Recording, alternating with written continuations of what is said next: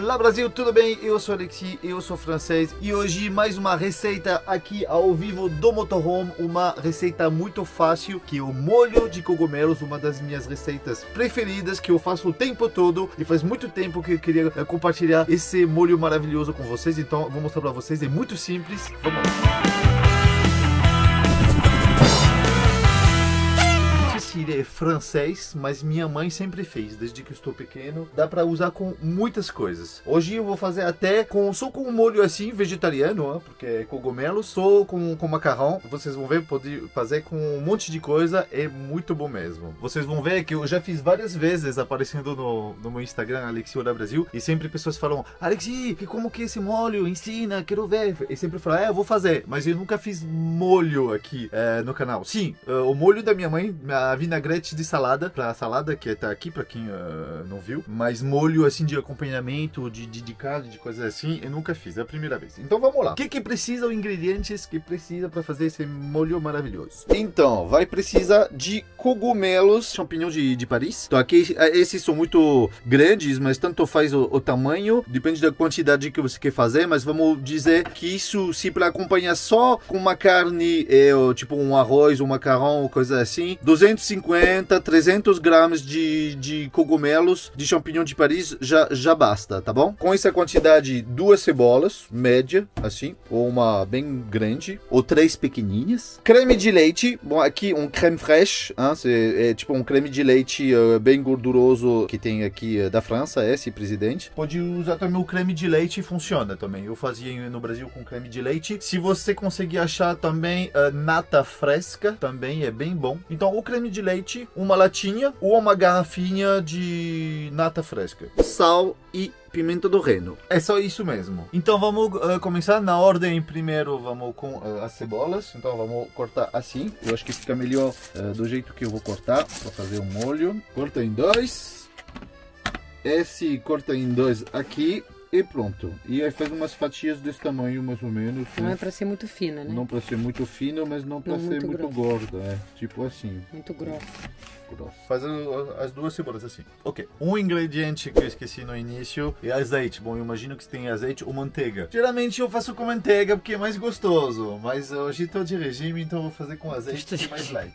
Não estou de regime, estou de, de, de tomando um pouco mais cuidado. Aí, né?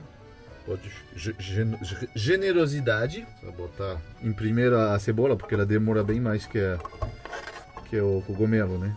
Por isso que eu faço em primeiro sempre a cebola. Quando isso está indo, eu vou cortar os cogumelos. Cogumelo aqui, você espalha bem tudo para pegar o azeite na cebola toda. Ou a manteiga. Cuidado para não deixar queimar a cebola. Ah, isso é importante. Então não bota fogo muito alto. Não, não, médio, médio assim a gente vai cortar o cogumelo. Bom, aqui você corta, bom, eu corto, eu tiro já primeiro isso, depois eu corto assim. Não sei se é o jeito de fazer, porque eu não sou, sou chefe, mas eu faço assim, meio mais ou menos assim. Eu faço Nossos pratos não tem muita regra, né? Não, não, é do jeito é. que eu faço, gente. Né? Se tem um chefe que para reclamar, pode reclamar, que eu sempre fiz assim e pronto, né? Se, se tem recomendações, pode, pode falar. Para mim sempre funcionou assim e sempre fui bom. Então, do jeito bom que eu faço, tipo vovó, né?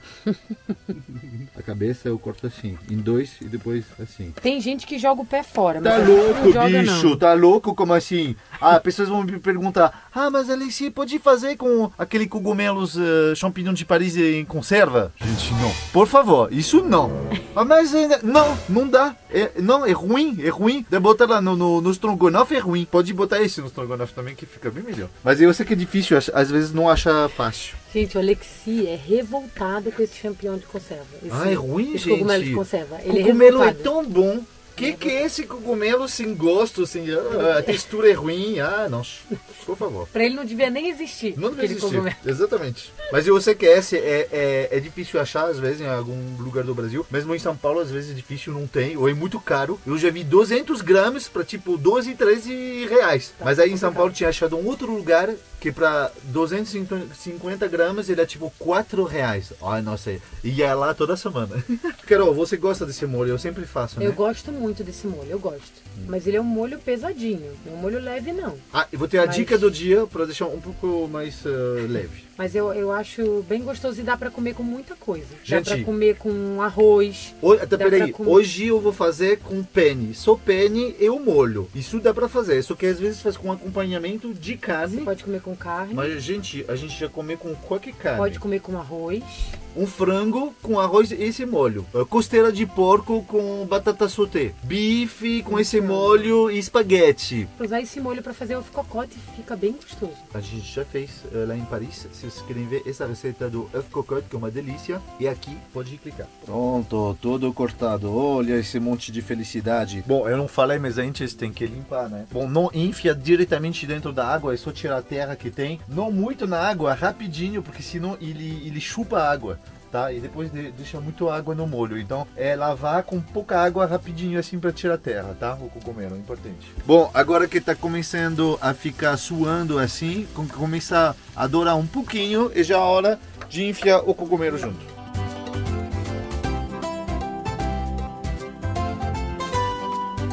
O cogumelo sempre parece muita coisa, mas ele diminui muito de tamanho depois.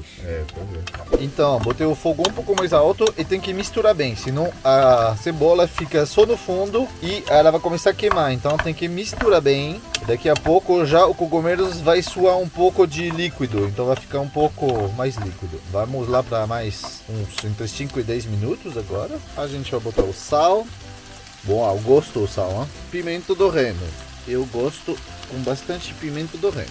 Ao gosto também, né? E passaram já uns 10 minutos quase. O cogumelo soltou um pouco de água, reduziu muito, vocês podem ver. Só que já ressecou a água que ele saltou, então isso agora tá bom. Dá pra ver, né? Que ele tá cozido.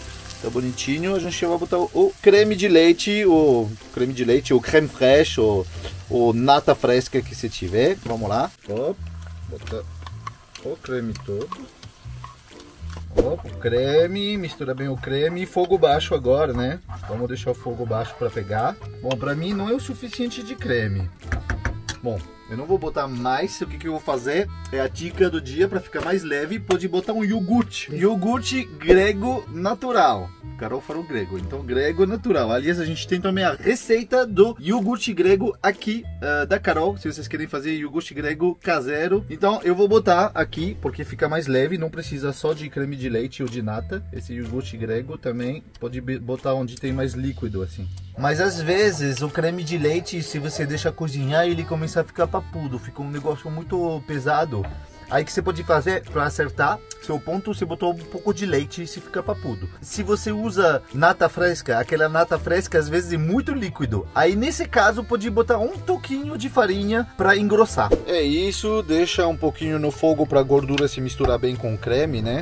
E a consistência tem que ficar meio assim, né? Não muito papudo, não muito líquido. Bem assim.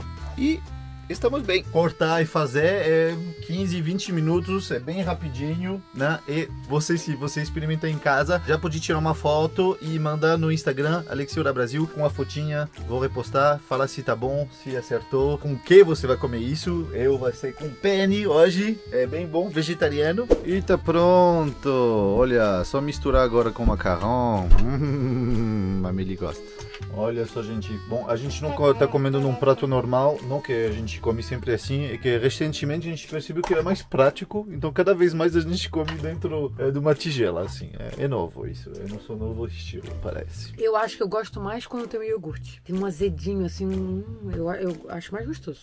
Dica do dia com mais iogurte, mais leve e mais gosto, olha só. Bom, gente, é isso aí, a receita. Se vocês querem fazer, ah, eu já falei, manda no Instagram, Alexiora Brasil. ah, aí vocês podem ver, você manda sua foto, eu vou compartilhar. Fala se você gostou, com qual você fez o molho. Se inscreve no canal, vê as outras receitas que eu vou deixar aqui no cantinho, o playlist das receitas fáceis que eu faço no canal, tá bom? Tchau, Brasil!